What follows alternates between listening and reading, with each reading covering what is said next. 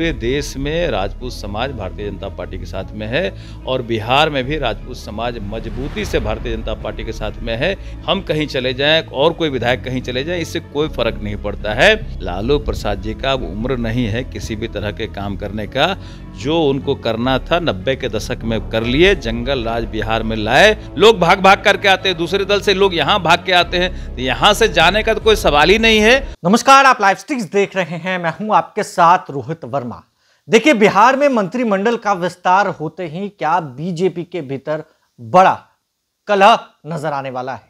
देखिए, जिस तरीके से कल देर रात खबर जो है, उफान की तरह बिहार की राजनीतिक गलियारों में फैल जाती है।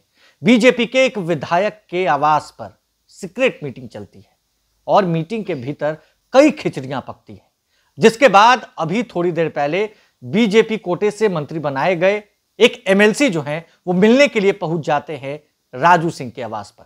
और घंटों मुलाकात होती है।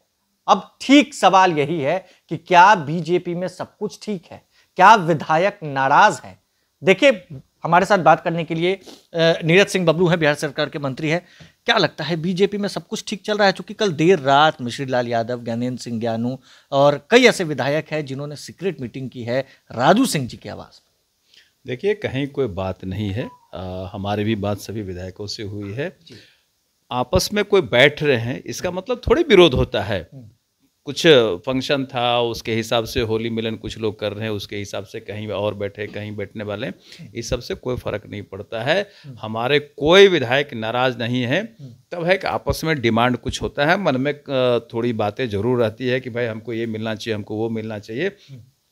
हमारे विधायक पूरी तरह डिसिप्लिन है, कहीं कोई पार्टी के खिलाफ नहीं जाने वाले हैं, कुछ हमारे सीनियर हैं, कुछ हमारे साथी हैं, कुछ हमारे जूनियर हैं, सब लोगों का आपस का बात है और कोई भी डिमांड होगा तो पार्टी नेतृत्व से लोग डिमांड करेंगे और पार्टी नेतृत्व हमारा तय करेंगे कि किनका क्या डिमांड है, किनको क्या जगह मिलनी चाहिए और मुझे लगता है कहीं कोई नाराज़गी नहीं रहेगी। जिनका जो डिमांड है, वो पूरा करने का ज़रूर कोशिश किया जाएगा। लेकिन कई ऐसे विधायक है, सर, जो कह रहे हैं कि सरकार बनाए विधायक, सरकार बचाए विधायक विधायक और एमएलसी बने मंत्री?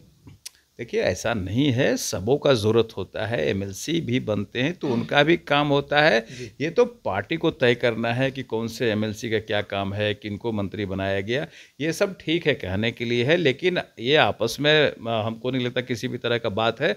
और जो हमारे माननीय प्रदेश अध्यक्ष जी हैं सम्राट चौधरी जी मुझे लगता है कि उनकी सबसे बात हुई होगी और ये सब कुछ है नहीं सारा सलट जाएगा कहीं कोई बात नहीं है। ये भी कहा गया है सर कि कई लोगों को कमिटमेंट किया गया पार्टी की तरफ़ से कि आप मंत्री बन रहे हैं लेकिन एंड टाइम पर जो है लिस्ट से नाम से देखिए कुछ परिस्थितियाँ बनती है कुछ आगे कुछ पीछे होता है और बहुत सारा सीट अभी खाली है बहुत सारा जगह खाली है। मुझे लगता है कि आने वाले लोकसभा के बाद हो तो फिर एक एक्सटेंशन होना बाकी है। जब भी एक्सटेंशन होगा तो उसमें लोगों को जगह मिलेगा जो जगह है वो बाकी विधायकों के लिए विधायकों को और जगह मिलेगा। तो बिहार के राजपूत क्या बीजेपी से नाराज़ तो नहीं है? एक मंत्री आप, आपको क्या लगता है? एक नहीं दो मंत्री हैं। और मैं सिर्फ़ बिहार की बात नहीं करता हूँ बिहार से बाहर भी।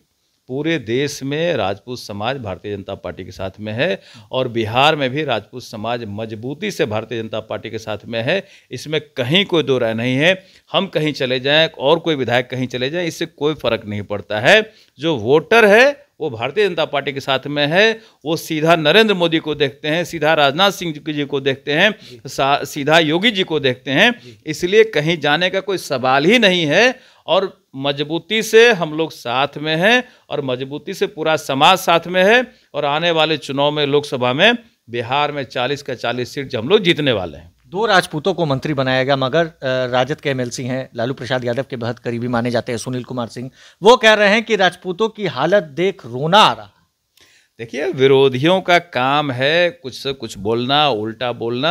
ये विरोधी का काम है। उनके सरकार में कहाँ पाँच को बना दिया गया? अगर उनके सरकार में पाँच आदमी को बना देते सुनील बाबू को बना देते मंत्री तो हम लोग को लगता है कि सुनील बाबू को मंत्री बना दिए। सुनील बाबू तो खासम खास माने जाते हैं तो कहाँ उनको मंत्री बनाया गया? ये सब चलते रहता है। एक जो बने मंत्री उनको भी हटा दिया गया। यही उनका हमको लगता है कि उस पार्टी में जगह है। यहाँ भारतीय जनता पार्टी में पूरी तरह सम्मान है कहीं कोई कमी नहीं है। लेकिन जो आपस का कुछ बात है, वो बैठ के तय होगा, उसके लिए बात चलेगी, उसके लिए बात किया जाएगा।